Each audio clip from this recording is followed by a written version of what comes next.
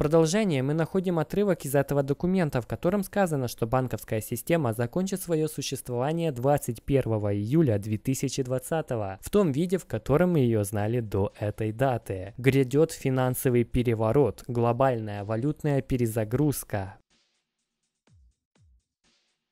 Всем привет, ребята! Меня зовут Богатейший Ди. Сегодня у меня для вас крайне интересное видео. Я расскажу вам, почему 21 июля 2020 года будет чуть ли не самой важной датой финансовой истории. Я дам вам еще больше информации о том, что грядет не только 21 июля, но и в октябре-ноябре этого года. Потенциальная смена руководства ФРС на Джуди Шелтон, о чем я уже снимал видео. Если вы его не видели, ссылку оставлю в описании. А также встреча наций БРИКС. Эти два события тоже произойдут 21 июля. Я нашел еще два решающих финансовых события в этот день. Оставлю их на десерт. Но сначала давайте посмотрим на SWIFT и ISO 222. Переход на этот стандарт навсегда изменит соблюдение санкций странами, на которые они были наложены. Помните, что есть одна из самых больших причин, почему люди ищут способ оторваться от традиционной системы SWIFT. Она заключается в том, что американский доллар фактически был превращен в оружие Соединенных Штатов Штатов, как раз таки с помощью системы SWIFT платежей. Экономики целых стран были изувечены санкциями. Поверьте мне, мир устал от этого. И прямо на наших глазах мы видим разработку финансового сдвига, но большинство людей на планете этого даже не замечают. Стандарт ISO 222 выходит за рамки старых инструментов, форматов обмена электронными финансовыми сообщениями, протоколами и стандартами, которые были созданы десятки лет назад на основе местных законов и не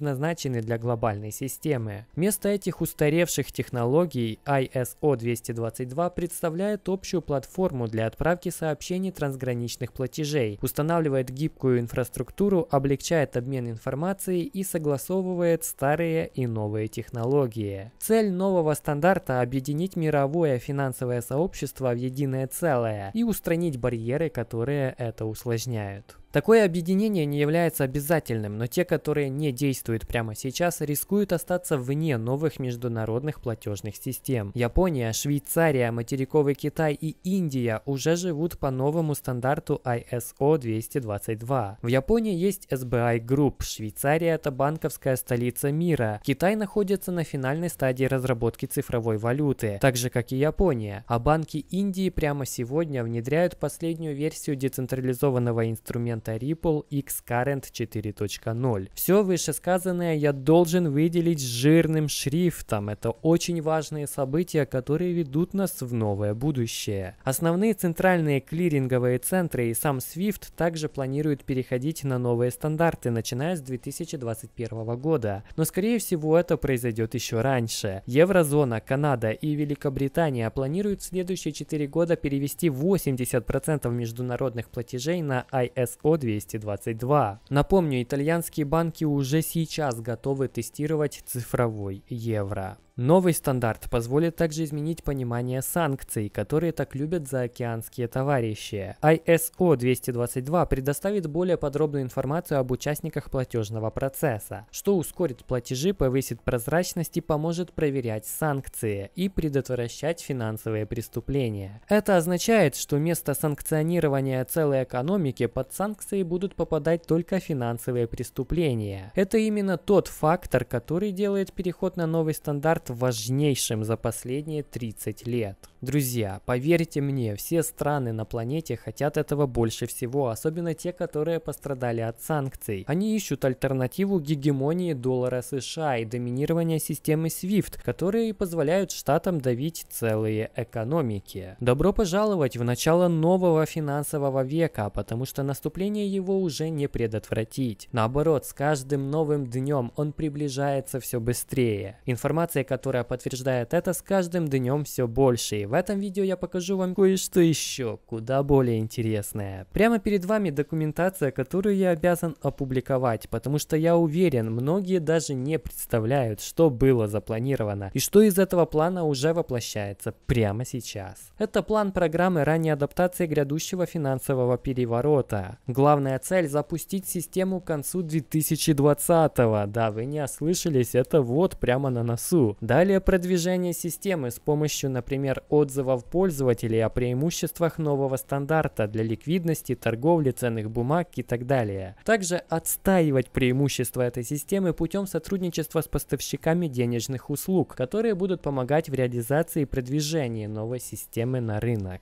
Если мы поизучаем эти документы еще, мы найдем информацию о сроках разработки новой системы. Как мы видим, она была разделена на две фазы. Фазу номер один я пропущу, потому что она уже закончилась приблизительно в феврале 2020. Сейчас мы находимся уже в фазе номер два, заключительной фазе. Цель фазы номер два – подготовить тест, протестировать и запустить. Как мы видим на инфографике, запуститься система должна приблизительно в ноябре этого года. В этот период уже проходят идентификация тестовых случаев, подготовка внутренней среды для тестирования и обучения, организация тестовых групп людей и вариантов использования системы, а также объединение усилий и передового опыта. Все это будет происходить прямо сейчас и до ноября этого года. Мы видим, что месяца полтора назад они уже были готовы к двухсторонним тестированиям, а уже сейчас, ближе к августу 2020 мы видим, что они уже готовы к запуску. Запомните фразу «двухстороннее тестирование». Вот что нашел Кевин Кейдж на сайте Ripple. Цитата. «Опыт двухсторонних платежей является одним из самых фундаментальных в глобальных платежах, особенно на развивающихся рынках. Это очень важная цитата, которая позволяет нам сложить пазл. И это только еще один кирпичик. Таких кирпичиков еще много. Давайте я покажу вам еще один, ведь мы должны оставаться бдительными в преддверии 21 июля. Осталось так мало времени, но так много всего должно произойти. Друзья, это официальный федеральный реестр правительства США. Документ называется «Денежные переводы в соответствии с законом об электронных переводах.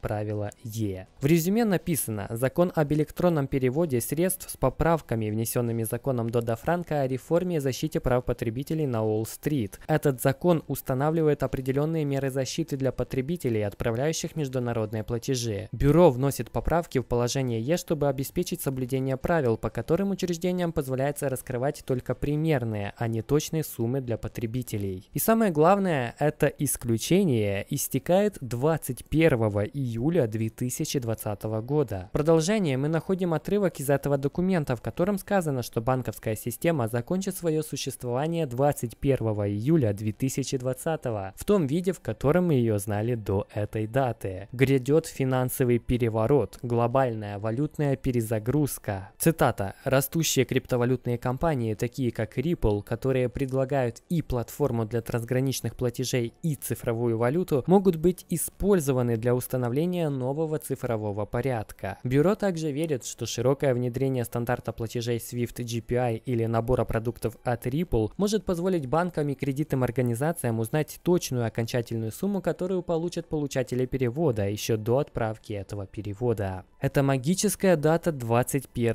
июля, она везде. Мы видели, что они пишут об XRP в официальных документах бюро 21 июля. Возможно, это самая важная дата не только в финансовом мире, но и в истории Ripple XRP. Но это не означает, что токен взлетит как сумасшедший прямо в этот день. Но это означает, что Ripple прямо сейчас переделывает настоящее в будущее. 21 июля также пройдет саммит стран БРИКС и ШОС, который в мае был перенесен из-за пандемии. Это значит, что мы увидим и окончательное обновление по статусу Джуди Шелтон Клинтон в качестве кандидатуры на руководящий пост ФРС США. Потенциально она имеет большие шансы на это. И что это еще значит? Это значит, что мы увидим и весь этот коллектив очень важных фигур, которые будут обсуждать цифровой доллар. 21 июля 2020 года это событие будет транслироваться в прямом эфире. Это обсуждение очень повлияет на будущее доллара США, цифровых валют, Ripple XRP и новой финансовой системы. Ну и на наше будущее, на наше с вами будущее будущее. Это тоже очень важное событие. Поэтому 21 июля 2020